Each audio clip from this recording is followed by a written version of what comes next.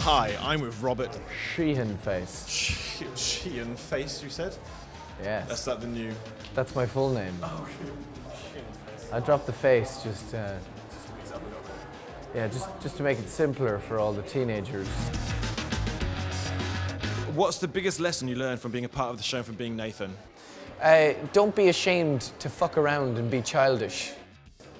People are in a hurry to grow up, and that's the biggest shame of all, I think. You know, don't be afraid to be silly. That was genuinely something that, that I took away from the show. And as you can see, uh, I um, uh, perpetuate that belief in everyday life. Dicking around. Having a laugh. It's great fun. What's the best language you've heard yourself dubbed in? I heard myself dubbed in Spanish once.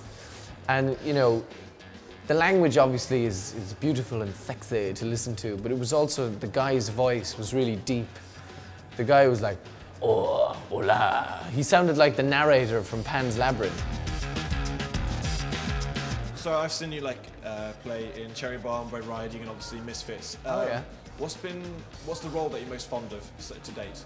There's an Irish TV show that I did called Love Hate, and it, it holds a very uh, special place, I suppose, in my heart because uh, because the show was was was so successful in Ireland. You know, it was it, it, it became this incredibly culturally relevant thing. Uh, uh, you know, every Sunday night in Ireland, people were gathered around their televisions watching, like millions of people in Ireland, which is most of the people.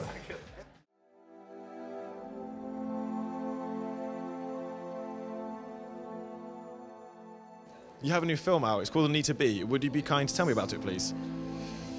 Anita B is a story of a young woman who escapes uh, uh, at the end of the Second World War and goes to live with the only family that she has left in newly formed Czechoslovakia. And she quickly realizes that, uh, in, to some extent, Jewish people have exchanged one tyranny for another. The kind of backdrop of the story is is uh, the borders of the countries of Europe reshifting and, uh, you know, various different races and sects of people being suspicious and hateful of each other. Obviously, your character uh, is a lead role alongside um, Eileen. Could you explain to me what what drives him? What's going on there? He's, uh, he's a kind of a arrogant young gentleman who I think charms, charms our protagonist, Anita, into a relationship and um, I think kind of exploits her innocence to some extent. And uh, through kind of clumsy seduction, uh, manages to get into her pants, both proverbially and literally.